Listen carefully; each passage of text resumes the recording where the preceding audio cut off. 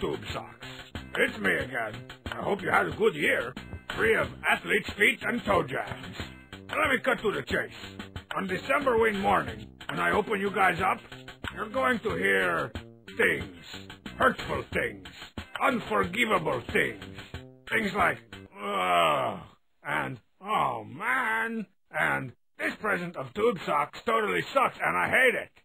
Don't you believe a word of it, Tube Socks. I love you guys. I don't know what I'd do without my yearly pair. But a guy's gotta keep up appearances, right? If people found out I had a soft spot for Tube Socks, it'd be all over. It took me years to live down that Martina Navratilova poster, and I will not go down that road again. We can be secret friends, like that hunchback kid at school. In closing, please disregard any and all negative comments or negative burning you may hear or experience on Decemberween. Stealthily yours, a strong man.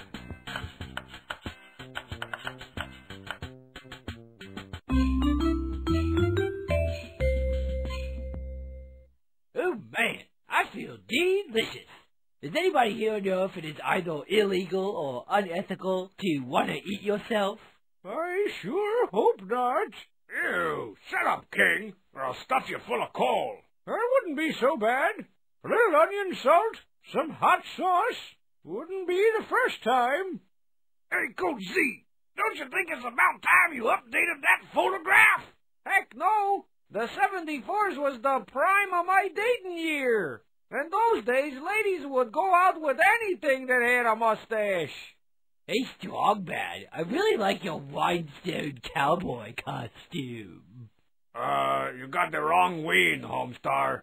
This is Decemberween, not the Hallow one. Oh, right, right. Trick or treat. Does anybody know where Strong Sad is? Uh, hello, I'm right here. Whoa, I can hardly see you. You're like the Predator up there. No, I'm like the most expensive ornament on this tree by about forty-five dollars. Oh, yeah? Well, my 4.5 cents of plastic sequins and styrofoam are about to bedazzle you right off of this tree.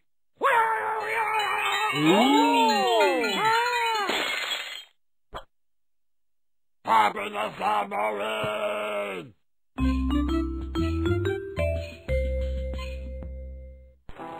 This here's gonna be the biggest Decemberween rat pile in town. Rumble, rumble, rumble. Oh, phooey. And after that, phooey. Not you again. Earthling, explain to me this pile of rotten rodentia, Rumble. It's Decemberween, Rumble Red. The most sanitary time of year. When everyone piles up all the dead rats they've accumulated throughout the year. We don't have any December Decemberweens on my planet. Trumble. Well, what do you know? What do they have on your planet? Oh, not much. Long lines, expensive bread, rumble do. Happy Decemberween, Rumble Red. Cosmic joy. I think this buffalo has shown me the true meaning of December Rumble rumbleweed.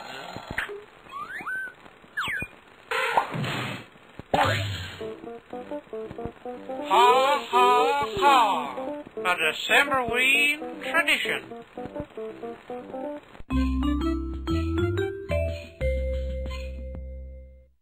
Dear Argyle Socks,